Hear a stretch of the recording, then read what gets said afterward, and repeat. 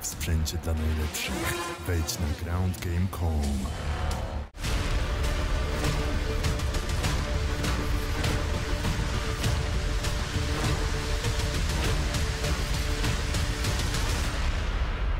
Jędrzej Dur- Durski przed galą Krwawy Sport 3 w Sopocie. Trochę nam pogoda nie dopisała, na szczęście nie padało. Całkiem fajne ważenie za nami. Jak twoje emocje? Emocje? W porządku. Ja się bardzo cieszę, że, że, że zawalczymy na gali z publicznością. Cieszę się, że wreszcie możemy wrócić do takiego formatu, gdzie to publika będzie nas zagrzewać. Także bardzo się cieszę, że jutro e, walczymy. No i też oczywiście lekki niepokój, no bo to pierwsza obrona pasa, więc cały ciężar na moich barkach. Strasznie dużo się mówi o tym, że właśnie obrona, ta pierwsza obrona jest dużo trudniejsza niż samo wywalczenie pasa. Oczywiście mówią to te osoby, które nie musiały się wystarać o to, żeby ten pas wygrać, tak? No ale czy możesz w jakiś sposób porównać te twoje przygotowania do walki o pas do tych, które teraz prowadziłeś? Czy faktycznie jest w tobie taki lekutki niepokój ze względu na to, że jednak obronić trzeba będzie ten pas? Może nie tyle niepokój, ale zgodzę się z fakt, zgodzę się jakby z tym twierdzeniem, że e, bronić jest zawsze o wiele trudniej niż zdobywać. Opowiedz proszę o swoim e, rywalu. Em, gdzie upatrujesz jego mocnych stron? No bo wiadomo, formuła, w której będziecie się bić, pozostawia niewielkie po, pole tak naprawdę do działania. Tutaj muszą pójść w ruch pięści i tam naprawdę może się zdarzyć wszystko w pierwszych sekundach, tak?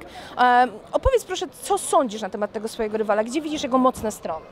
No, pokazał te swoje mocne strony w swoim pierwszym pojedynku, 15 sekund ubija e, moim zdaniem jak na dawną chwilę pewnie faworyzowanego rywala, także sprawia wszystkim wielkie zaskoczenie. Wchodzi od razu akcję bokserską, wchodzi, te, te ciosy wchodzą czysto, rywal leży, także czego możemy się spodziewać? Na pewno mocy w pięściach, dynamiki agresji, także to są na pewno jego mocne strony i, i na to trzeba będzie po prostu uważać. Jak, to, jak tobie współpracuje się z organizacją Krwawy Sport?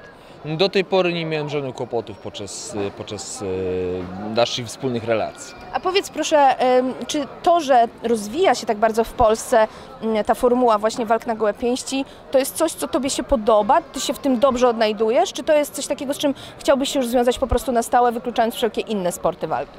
Ja nie wykluczam absolutnie żadnych innych sportów walki. Sam bardzo chętnie startuję również e, w zawodach amatorskich, e, w formułach amatorskich, bo zawody amatorskie źle brzmią, w formułach amatorskich e, na Mistrzostwach Polski, tudzież Pucharach Polski, e, w Polskim Związku Kickboxingu w K1.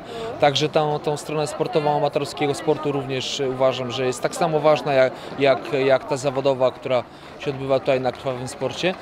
Ja osobiście myślę, że taka formuła gdzie zawodnicy walczą w małych rękawicach bądź na gołe pięści. To jest, zresztą mówiłem to w zeszłym roku, że to jest powoli już taka przyszłość, że to jest taka nowa odsłona e, pięknego sportu, jakim jest K1 i myślę, że to, że w przyszłości będziemy mogli zobaczyć wiele więcej pojedynków w tej formule.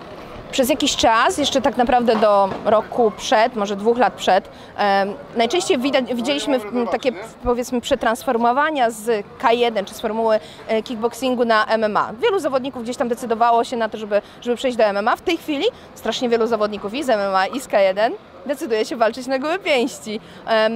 Mnie ciekawi ten kierunek. Czy ty myślisz, że za jakiś czas w ogóle tak bardzo zatrze się ta różnica pomiędzy formułami, że wszyscy będziemy chcieli się próbować właśnie w formułach, w formułach tradycyjnych, ale na gołe pięści albo w małych rękawicach? Ja myślę, że taka dostępność tych formuł jest, jest, wielki, jest z wielką jakby plusem dla zawodników, dla organizacji, dla fanów, ponieważ wtedy zawodnicy mogą e, weryfikować się na różnym polu, mogą sprawdzać swoje umiejętności, mogą szlifować pewne elementy, które do tej pory były niedostępne. Widz dostaje fajny produkt, który może zobaczyć, a e, my wszyscy jakby tylko i wyłącznie żyjemy tym bardziej tym sportem, więc myślę, że to są same plusy. Od Twojej walki dzielą nas już tylko godziny. Opowiedz, jak spędzisz ten ostatni dzień przed walką i czy masz jakieś swoje rytuały, y, które po prostu muszą zostać dopełnione, żebyś w pełni swobodnie wchodził do klatki? Myślę, że mam i założę się, że każdy z zawodników, który, który, e, który, który walczy, również ma swoje takie drobne rytuały. Ja swoich zdradzać nie będę, natomiast dziś jest na pewno dzień ładowania energii, dziś jest dzień odpoczynku. Pójdziemy sobie zaraz z kolegą zjeść obiad, a ciężka robota zaczyna się jutro. Super. No to serdecznie Ci dziękuję za rozmowę. Czekamy na ciężkie grzmoty w walce. Życzymy udanej obrony pasa. Do zobaczenia. Dziękuję pięknie, również do zobaczenia.